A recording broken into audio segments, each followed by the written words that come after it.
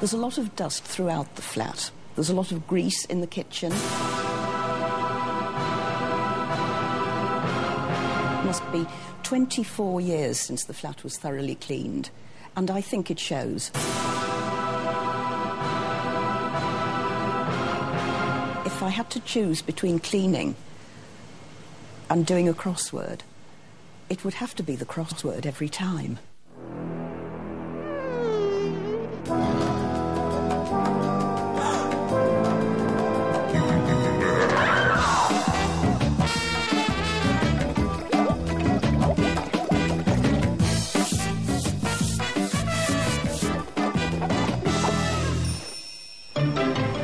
Cleaning Queen Kim Woodburn and Dirt Detective Aggie Mackenzie are heading into posh West London for their latest cleaning assignment.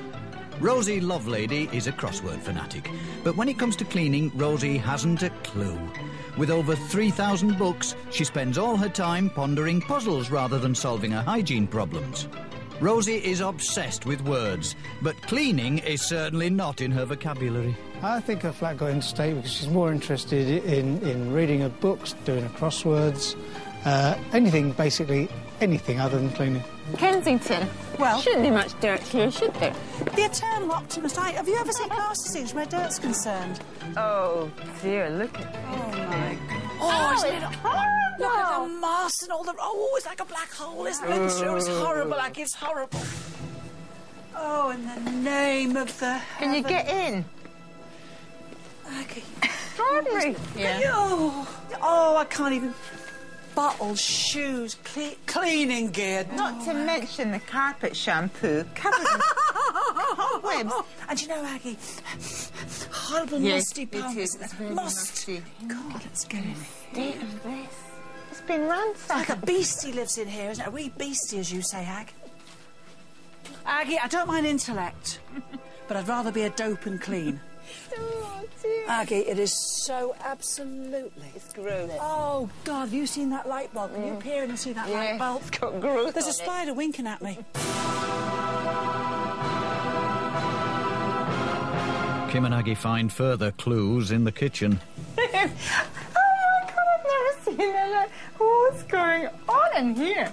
Look, look at the dirt on here. Oh, and, and Oh, look. how thick is that? The grill pan. Oh. Anyone for toast? Oh, and then, oh, look. Oh, it, oh, it stinks. I can smell it. Oh, oh God, put it. Oh, look at the top of the stove. I know. Oh, look at, oh, the, t- uh, look at the filth. Dig it. Look, look, Ag. Oh, the dirty beggar.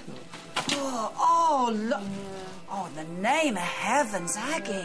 Look, Aggie, can we get out of here? Because I can't take much. I can't take much more of Yes, it. Come definitely. on. Kim and Aggie are puzzled by this book lover's boudoir. Is this the bed?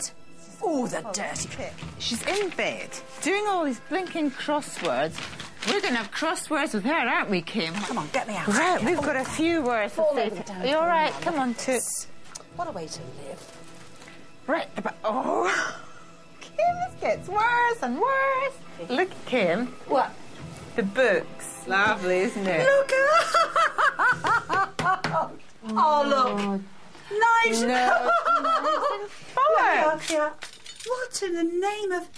In with a comb. In with a comb. Kitchen knife. Actually, comb. And electric toothbrush. In with cutlery. Revolting. Well, I'll tell you something. If she offers you as much as a morsel of food or drink, we've just eaten and drunk. Time to quiz this filth offender. Hello. Come on in, Rosie. We've been waiting for you. Have we been waiting, dear?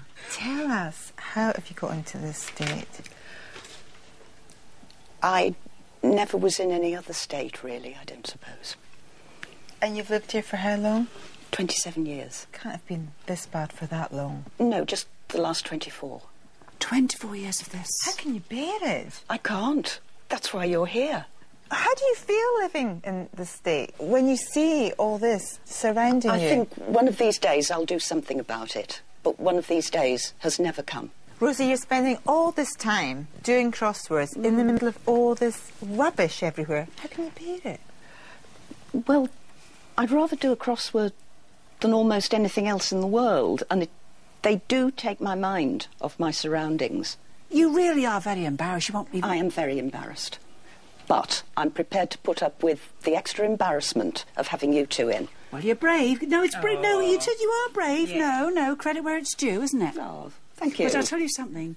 Ag and I will get this place lovely. It's a nice little place, this, you know.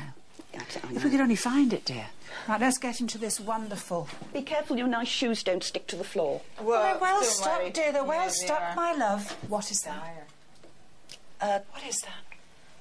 it's a, a blackened frying pan. Yes. What have you been Why cooking in that, so treacle? bad? What have you been cooking in that? I can't remember. I think it was just fried eggs. But it was a while ago, Oh, as you Over, can over tell. many, many years. And I'll tell now another thing that's got me fascinated.